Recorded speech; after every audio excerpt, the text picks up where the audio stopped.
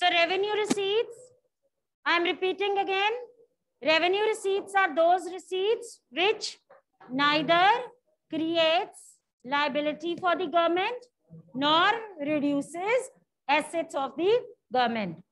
There are many such receipts of the government. So we classify them into two broad categories. Tax receipts, non-tax receipts. Tax receipts which accrue to the government from tax. Okay? What is a tax? A compulsory payment made by the public to the government. Taxes again are of many types. We classify them broadly into two categories. Direct tax, indirect tax. What is a direct tax? Which is imposed on the income, wealth, property of the person. Its impact and incidence falls on the same person, which means its burden cannot be shifted. For example, income tax, property tax, corporate tax, all are the examples of direct taxes. Indirect tax, those tax which are imposed on the consumption expenditure.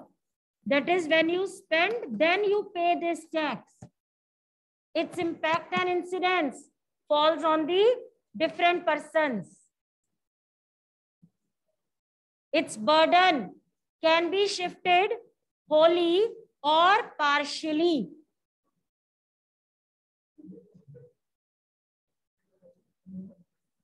So the examples of such taxes are like GST, excise duty, ठीक है तो ये हो गया हमारा tax receipts other type of receipts are non tax receipts.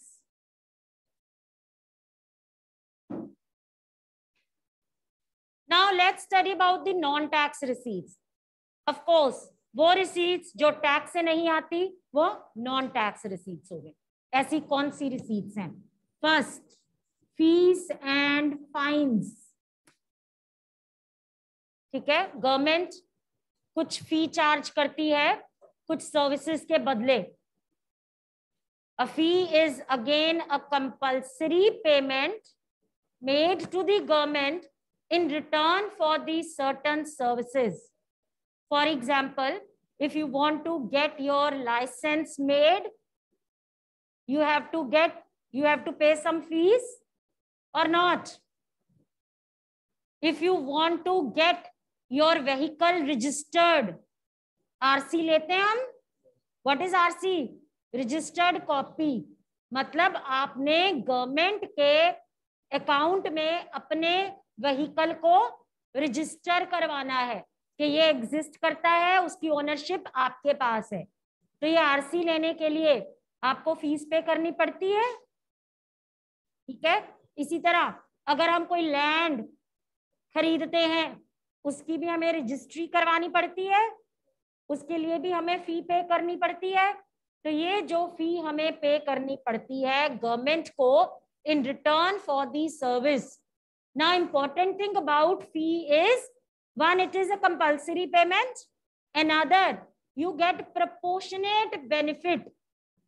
Tax के corresponding आपको proportionate benefit नहीं मिलता आप बोलो मैंने ज़्यादा टैक्स दिया है मेरे घर के आगे रोड अच्छी बने इसने कम टैक्स दिया है इसके घर के आगे रोड ना बने ऐसा नहीं होता ना टैक्स आपको प्रोपोर्शनेट बेनिफिट नहीं देता। लेकिन जब आप फ़ी पे करते हो तो यू गेट प्रपोर्शनेट बेनिफिट उसके बदले उसकी कॉरेस्पॉन्डिंग सर्विस आपको मिलती है। अगर आपने लाइसेंस बनवाने की फ़ीस डिपॉजिट करा दी तो you will get the license ठीक है? तो अगर आपको ड्राइविंग लाइसेंस लेना है, आपको गन रखने का लाइसेंस लेना है, फ़ीस, फाइन एंड परमिट हम इकट्ठा कर देते हैं। Sometime government charges something to give permission of something license एक परमिट है। बिना लाइसेंस के आप व्हीकल को ड्राइव नहीं कर सकते। ठीक है? इसी तरह बिना परमिट के आप घर में गन नहीं रख सकते।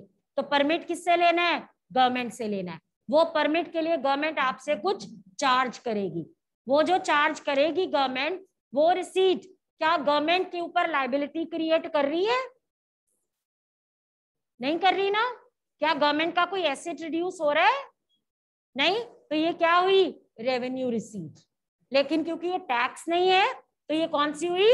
Non tax revenue receipt first category of non tax revenue receipt is fee fees fines and permits ठीक है समटाइम्स फॉर बर्थ जब आपको whenever the birth of a child takes place then the parents get birth certificate from municipal corporation yes all of you are having your birth certificate when it must have been collected from the municipal corporation it must have charged fees.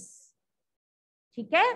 तो इसी तरह से birth के ऊपर जो आपको duty लगती है, वो भी नॉन टैक्स रेवेन्यू रिसीट है। फाइन्स की बात करें। मैंने अभी बताया, बिना लाइसेंस के आप व्हीकल ड्राइव नहीं कर सकते। बिना परमिट के आप गन नहीं रख सकते।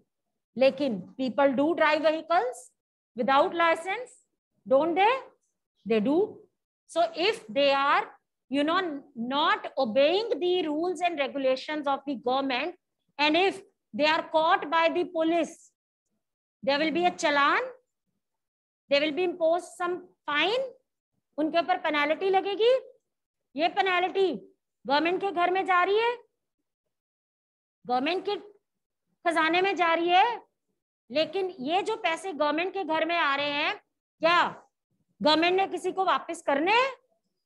यानी गवर्नमेंट के ऊपर कोई लाइबिलिटी क्रिएट नहीं हुई। क्या इससे गवर्नमेंट का कोई एसेट रिड्यूस हुआ? नहीं हुआ। तो ये फाइन भी क्या हुआ? नॉन टैक्स रेवेन्यू रिसीट ठीक है? इसके अलावा और कौन कौन सी नॉन टैक्स रिसीट्स जिससे गवर्नमेंट को which is a source of income for the government be escheat again it is a new word for you escheat what is escheat bete sometimes some people die leaving lots of property behind. एक person है, उसकी चार factories है, उसकी death हो गई, उसने अपनी विल नहीं लिखी हुई, और उसका कोई लीगल एयर नहीं है। आप जनरली ये वर्ड सुना है आपने? How do you pronounce it heir इसको हम एयर कहते हैं। इसकी करेक्ट प्रोनाउंसिएशन एयर है। ठीक है? मतलब क्या इसका? वारिस। ठीक है? बिल्कुल एग्जैक्ट वर्ड वारिस है। तो अगर इस पर्सन की डेथ हो गई, इसका कोई लीगल वारिस नहीं है और इसने अपनी विल भी नहीं छोड़ी विल पता है क्या होती है?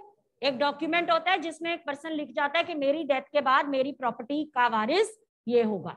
तो उसके अपने बच्चे नहीं है, कोई वारिस नहीं है और ना ही उसने अपनी कोई विल लिखी जिसमें वो उसने अपनी प्रॉपर्टी किसी के नाम कर दी।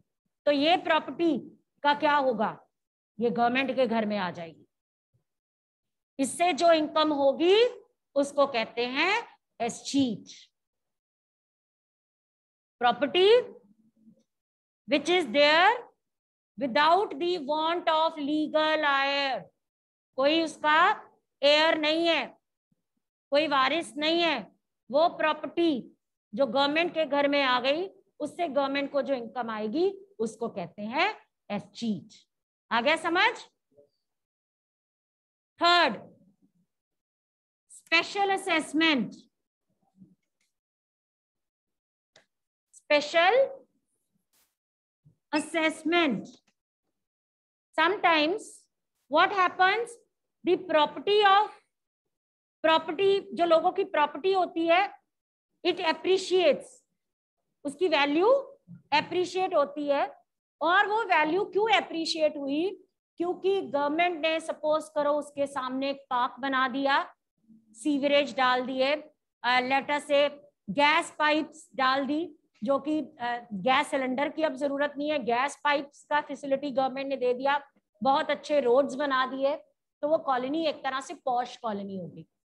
तो जब आपने वहाँ पे घर लिया था, आपने लिया था दस लाख का। आज आपके घर की वैल्यू हो गई पचास लाख रुपए। और गवर्नमेंट कहती है कि ये जो एप्रिसिएशन हुई है वैल्यू की, ये मेरी डेवलपमेंटल एक्टिविटीज़ के करके हुई है। तो government has the right to impose a levy government एक लेवी इम्पोज कर सकती है। एक तरह से एक लेवी मतलब ले, आपके ऊपर इम्पोज कर सकती है। कोई भी चीज़ एक पेनल्टी नहीं कह सकते हम इसको। एक लेवी लगा दिया गवर्नमेंट ने कि भी ये जो वैल्यू एप्रिशिएट हुई है आज आप तो लखपति बन गए हो आपकी प्रॉपर्टी की वैल्यू इतनी बढ़ गई है क्यों बढ़ी है? मेरी डेवलपमेंटल एक्टिविटीज़ के करके बढ़ी। तो आपके ऊपर एक वन टाइम चार्ज हम लगाएँगे। ठीक है? तो हर एक को बोल दिया कि भाई आपने जिनका दस मरले का घर है वो दस हज़ार रुपए, जिनका छह मरले का घर है वो छह हज़ार रुपए, जिनका बीस मरले का घर है वो उनके ऊपर बीस हज़ार रुपए लेवी लगा दिया। ठीक है तो उससे गवर्नमेंट को जो इनकम आएगी, उसको क्या बोलेंगे? स्पेशल असेसमेंट ठीक है does it create any corresponding liability for the government does it create Does it lead to reduction of asset of the government? No. So it is considered as a revenue receipt. But because it is not a tax, it is a non-tax revenue receipt. Clear? Next bete, gifts, grants, donations. ये regular basis पर तो नहीं आते हैं लेकिन कई बारी आ, कुछ प्रॉब्लम्स आती हैं नेचुरल कलेमिटीज आती हैं जिस करके फॉरेन कंट्रीज़ या फॉरेन गवर्नमेंट्स हमें कुछ ग्रांट कुछ डोनेशन दे देती हैं हमारी कंट्री को। जैसे कोविड हुआ तो डब्ल्यू ओ ने हमें कुछ ग्रांट दी कि आप अपना हेल्थ इंफ्रास्ट्रक्चर इंप्रूव करो। वो जो ग्रांट डब्ल्यू ओ से आई वो गवर्नमेंट की रिसीट है। गवर्नमेंट के बजट में आएगी you will show it in your budget और नॉट ठीक है? तो वो किस साइड आएगी? Does government have to pay it back government को पे करना है बैक यानी गवर्नमेंट के ऊपर लाइबिलिटी क्रिएट नहीं हुई। क्या गवर्नमेंट का कोई एसेट रिड्यूस हुआ? So it is a non tax revenue receipt of the government gifts grants donations Is it clear? Then bete, surpluses from public sector enterprises. Railway is one public sector enterprise. Railway departmental undertaking है है ना? Railway को funds की ज़रूरत है तो कहाँ से दिए जाते हैं? बजट में से। बजट में से देती है गवर्नमेंट और जो रेलवे का सरप्लस होगा सरप्लस मींस प्रॉफिट्स लेकिन हम पब्लिक सेक्टर एंटरप्राइजेस के लिए प्रॉफिट वर्ड यूज़ नहीं करते। हम क्या वर्ड यूज़ करते हैं? सरप्लस सो so, ये जो सरप्लस है, जो कि रेलवे ने जनरेट किया, वो गवर्नमेंट की ट्रेजरी में आएगा। अब क्वेश्चन ये है कि गवर्नमेंट कौन से अकाउंट में इसको डाले? रेवेन्यू है या कैपिटल है? तो उसके लिए दो क्वेश्चंस पूछो। Does it create liability for the government government ने पैसे वापस करने किसी को जो रेलवे से आए हैं? नहीं आए। Does it reduce asset of the government no तो it is a revenue receipt तो क्योंकि ये टैक्स नहीं है तो ये कौन सी हो गई? नॉन टैक्स रेवेन्यू रिसीट ठीक है? So these are you know इसके अलावा और भी कुछ हो सकते हैं। एनीवन uh, इसके अलावा गवर्नमेंट की इनकम कहाँ से और हो सकती है? ओके इंटरेस्ट ऑन लोन जब गवर्नमेंट फॉरेन कंट्रीज़ को लोन देती है, उसके ऊपर गवर्नमेंट को इंटरेस्ट आता है? आता होगा। ये जो इंटरेस्ट है, क्या गवर्नमेंट ने किसी को वापस करना है? क्या गवर्नमेंट का कोई एसेट इफ़ेक्ट हुआ? नहीं। तो ये भी क्या हुआ? Non tax revenue is it clear these are the non tax revenue receipts ठीक है of the government budget anyone having any doubt till this Now, another type of budgetary receipt, which is capital receipt. Revenue receipt वो होती है जो कि government के asset liability status को affect नहीं करती। तो कैपिटल रिसीट कौन सी है? कैपिटल रिसीट वो होती है जो कि गवर्नमेंट के एसेट या लाइबिलिटी स्टेटस को अफेक्ट करती है। ठीक है? So capital receipts are classified as those which affect asset और liability status of the government now the question is how do they affect asset और लाइबिलिटी सो बेटे those receipts which either creates liability for the government that is, ये वो receipt है जो कि government को वापस करनी पड़ेगी। इसके करके गवर्नमेंट के ऊपर कोई लाइबिलिटी क्रिएट हो रही है। Can you give me any example of a receipt which would create liability for the government? Borrowings.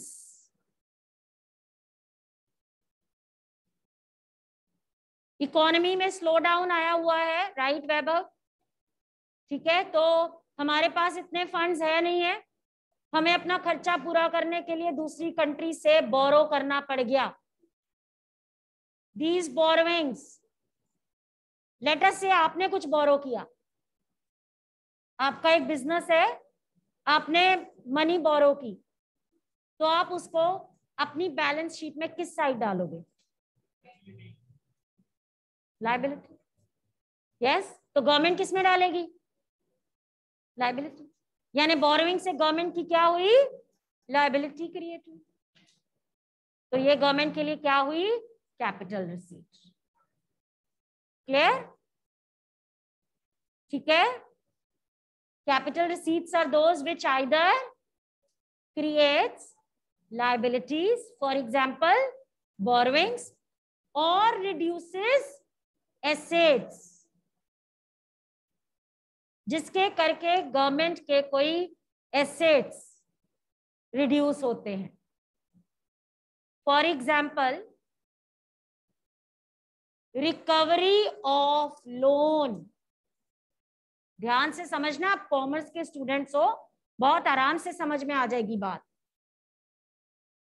Government has given loan to some other country. Yes? वो कंट्री गवर्नमेंट के लिए क्या हुई डेटर हुई? Debtor हुई? डेटर किस side आते हैं बैलेंस शीट में? एसेट ठीक है? आपने किसी को लोन दिया तो आप किस साइड उसको लिखोगे? एसेट दस साल बाद वो लोन रिकवर हो गया, वापस आ गया। वो एंट्री उड़ा दोगे? या नहीं? यानी अब एसेट साइड कम हो गई?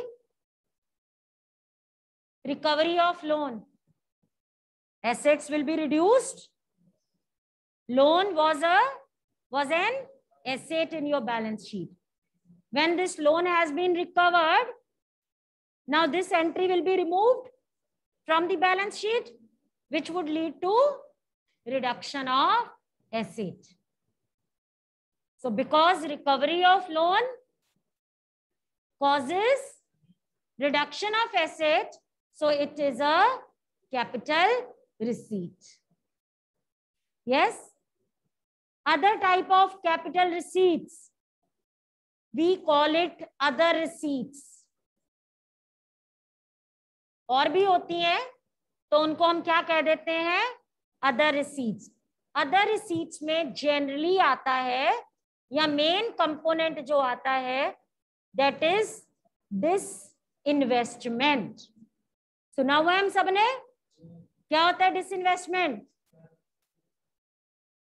selling of assets of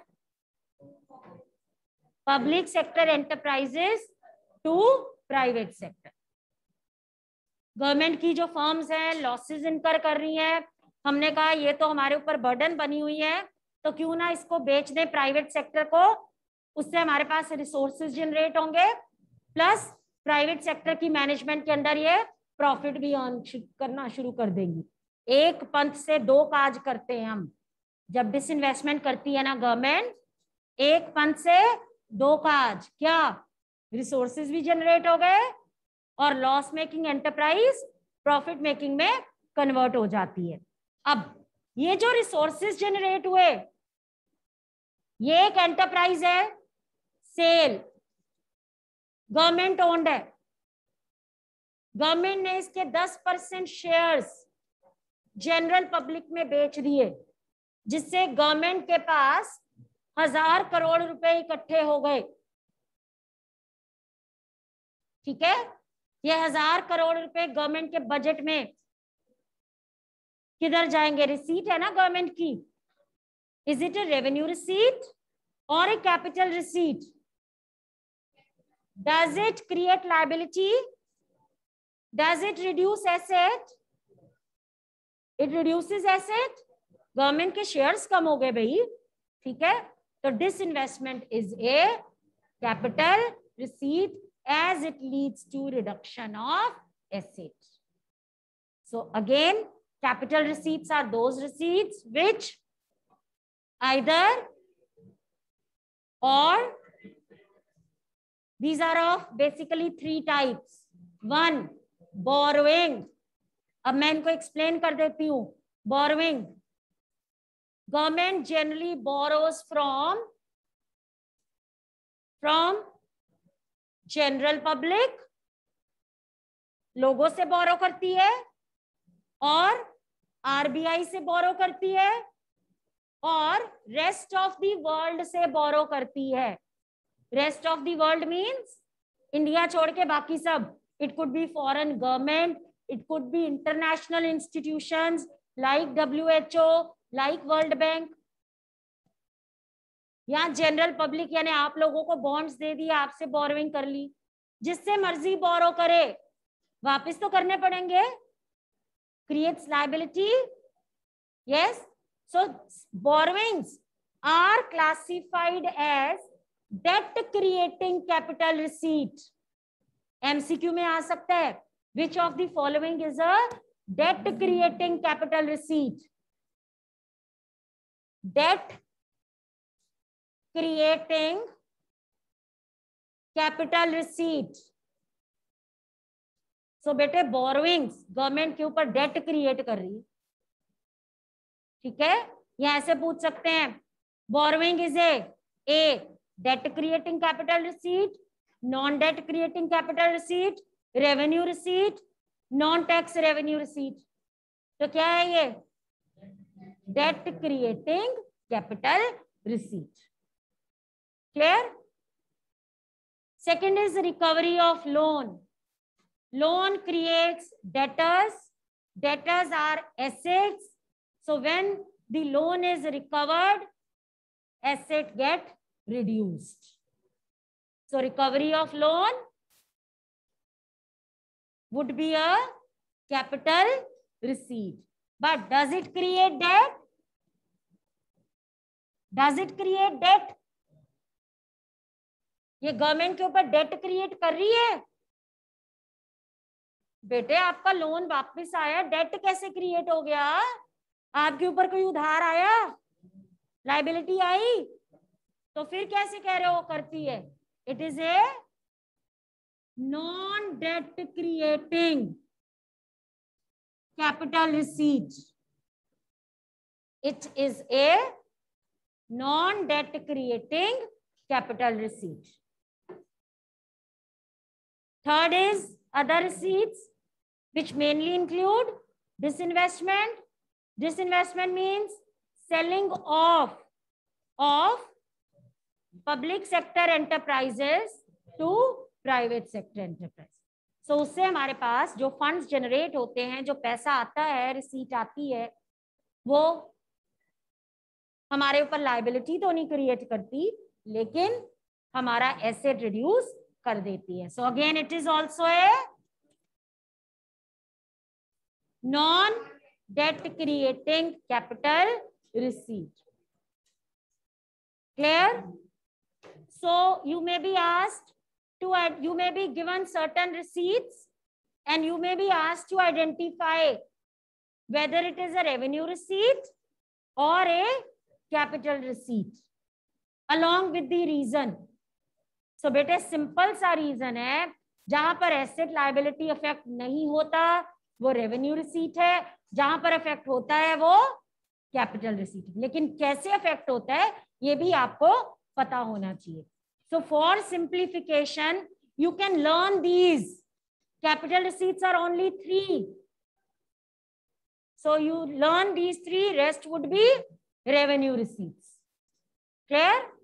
So anyone having any doubt bete